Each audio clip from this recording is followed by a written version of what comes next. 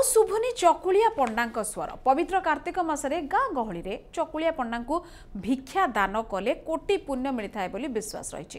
କିନ୍ତୁ ବ୍ୟସ୍ତବହୁଳ ଆଧୁନିକ ସମାଜରେ ଚକୁଳିଆ ପଣ୍ଡାଙ୍କର ବାଜା ବା ଯେଉଁ ତାଙ୍କ ଗୀତ ଏବେ ବନ୍ଦ ହେଇଯାଇଛି। କେବଳ ମଫସଲରେ କାଁ ଭାଁ ଚକୁଳିଆ ପଣ୍ଡା ପରମ୍ପରା ଏବେ ବଞ୍ଚି ରହିଛି।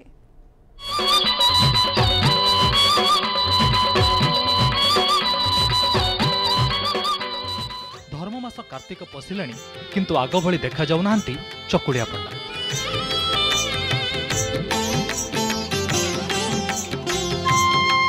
ଗାଁ ଗାଁ ବୁଲି ଚକୁଳିଆ ପଣ୍ଡାମାନେ ଭିକ୍ଷାବୃତ୍ତି କରିଥାନ୍ତି।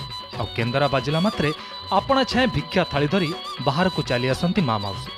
ପିଲାଠାରୁ ବୁଢ଼ା ଯାଏ ସମସ୍ତେ ଚକୁଳିଆ ପଣ୍ଡାର ଅକାଠ୍ୟ ବଚନ ଶୁଣିବାକୁ ଧାଇଁ ଆସନ୍ତି। କିନ୍ତୁ ବର୍ତ୍ତମାନର ବ୍ୟସ୍ତବହୁଳ ଆଧୁନିକ ସମାଜରେ ହଜିଯାଉଛି ପୁରାତନ ସଂସ୍କୃତି। ପରମ୍ପରା ଓ କୌଳିକ ବୃତ୍ତି। ଦାନ ଧର୍ମ ପରମ୍ପରାକୁ ବଞ୍ଚାଇ ରଖିଥିବା ଚକୁଳିଆ ପଣ୍ଡା ମଧ୍ୟ ନିଜର ପେସା ବଦଳାଇ ସାରିଲେଣି। କେବଳ ମଫସଲରେ କାଁ ଭାଁ ଚକୁଳିଆ ପଣ୍ଡାଙ୍କୁ ଦେଖିବାକୁ ମିଳୁଛି। ଆୟ ଗ୍ରହଟି କେବଳ ନିବାରଣ ହେବ। ଫଳ ହିମଳ ତଣ୍ଡୁଳ ଦେବେ କରାଯିବ ଭୀମ ଭିକ୍ଷା ପରା ଇଏ ଚକ୍ର ଭିକ୍ଷା ଭଗବାନଙ୍କ ଭିକ୍ଷା। ଏ ଭ- ଭୀମ ଭାରି ବଳବାନ ଥିଲେ। ଭଗବାନ ସହଜ କରିପାରିଲେନି କହିଲେ ଯା ଛତା ଧରିବୁ ପିତଳ ଧରିବୁ ଦେଇଥିଲେ ପାଇ ବୁଣିଥିଲେ ଯାଇ ଦାଣ୍ଡରେ ବୁଲିକି ଯିବୁ। ଭଗବାନଙ୍କ ନାମ ଧରିକି। ମୁଁ ଚାଳିଶ ବର୍ଷ ହେଲା କଲିଣି ଆଧୁନିକ ଚାକଚକ୍ୟ ଭିତରେ ହଜିଯାଉଛି ପୁରାତନ ପରମ୍ପରା। ଗାଁଠାରୁ ସହର ସବୁଠି ପର୍ବପର୍ବାଣୀ ଆଧୁନିକ ଢଙ୍ଗରେ ପାଳିତ ହେଉଛି। ପୂର୍ବପୁରୁଷଙ୍କ ବିଶ୍ୱାସ ଅନୁଯାୟୀ ଚକୁଳିଆ ପଣ୍ଡାମାନଙ୍କୁ ଦାନ ଧର୍ମ କଲେ କୋଟି ପୁଣ୍ୟ ମିଳିଥାଏ। ସାଧାରଣତଃ କାର୍ତ୍ତିକ ମାସରେ ଏହି ଚକୁଳିଆ ପଣ୍ଡାମାନେ ଗାଁ ଗାଁ ବୁଲି ଭିକ୍ଷାବୃତ୍ତି କରିଥାନ୍ତି। ମନଛୁଆଁ ଲୋକଗୀତ ବୋଲି ସମସ୍ତଙ୍କୁ ଆନନ୍ଦିତ କରିଥାନ୍ତି।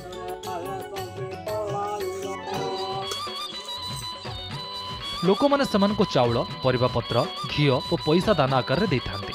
ବଦଳରେ ଲୋକମାନଙ୍କୁ ଆଶୀର୍ବାଦ କରିଥାନ୍ତି ଚକୁଳିଆ ପଣ୍ଡା। ଏବେ କିନ୍ତୁ ଚକୁଳିଆ ପଣ୍ଡାଙ୍କ ପରପିଢ଼ି ଆଉ ଏହି କାମ କରିବାକୁ ରାଜି ହେଉନାହାନ୍ତି। କିଛି ହାତଗଣତି ଚକୁଳିଆ ପଣ୍ଡାମାନେ ପରମ୍ପରାକୁ ବଜାୟ ରଖିଛନ୍ତି। ଏପଟେ ଆଜିର ଯୁବପିଢ଼ି ମଧ୍ୟ ଚକୁଳିଆ ପଣ୍ଡା କିଏ ବୋଲି ପଚାରୁଛନ୍ତି? ଘରୁ ଯେଉଁ ଆସନ୍ତି ଚକୁଳିଆ ପଣ୍ଡା। ଆଉ ଏଇସା ଦେଖାଉନାହାନ୍ତି। ପନ୍ଦର ଦିନ ପନ୍ଦର ଦିନ ସବୁ ଆସୁଥିଲେ ଦାଣ୍ଡେ ଦାଣ୍ଡେ ଯାଉଥିଲେ।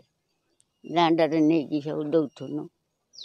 ସେମିତି ଭଲ ଲାଗୁଥିଲା ଏଇସା ଭଲ ଲାଗୁନି ଏବେ ଲୋକମାନେ ଏତେ ପାଶ୍ଚାତ୍ୟଗାମୀ ହେଲେଣି ଏ ସ- ସବୁ ଓଡ଼ିଆ ପରମ୍ପରାକୁ ଭୁଲିଯିବାକୁ ଲାଗିଲେଣି। ଦ୍ୱିତୀୟ କଥା ହେଉଛି ଯେଉଁ ଚକୁଳିଆ ପଣ୍ଡାମାନେ କାର୍ତ୍ତିକ ମାସରେ ବିଶେଷ କରି ଗାଁ ଦାଣ୍ଡମାନଙ୍କରେ ଦେଖାଯାଆନ୍ତି ଏବଂ ଧର୍ମ ମାସରେ ସେମାନେ ଘରୁ ଘରକୁ ବୁଲି ଆ, ଭି- ଭିକ୍ଷାବୃତ୍ତି କରନ୍ତି କିନ୍ତୁ ବର୍ତ୍ତମାନ ଆ, ଚକୁଳିଆ ପଣ୍ଡାଙ୍କର ଦେଖା ମିଳୁନି। ଏ, ତାର ଏକମାତ୍ର କାରଣ ହେଲା ମ, ଲ- ଲୋକ ଏବେ ପ- ପୁରା ଏକଦମ ପଇସା ପଛରେ ଗୋଡ଼େଇଛନ୍ତି। ଓଡ଼ିଶାର ସଂସ୍କୃତି ଏବଂ ପରମ୍ପରା ନିଆରା। ଚକୁଳିଆ ପଣ୍ଡା ପରମ୍ପରା ଧୀରେ ଧୀରେ ବୁଡ଼ିବାକୁ ବସିଥିବା ବେଳେ ଆଗକୁ କେବଳ ଆଇମା କାହାଣୀ ହୋଇ ରହିଛି ଯାଜପୁରରୁ କ୍ୟାମେରା ପର୍ସନ ସରୋଜଙ୍କ ସହ ସୁରେନ୍ଦ୍ର ସାମଲ ନ୍ୟୁଜ୍ ସେଭେନ୍।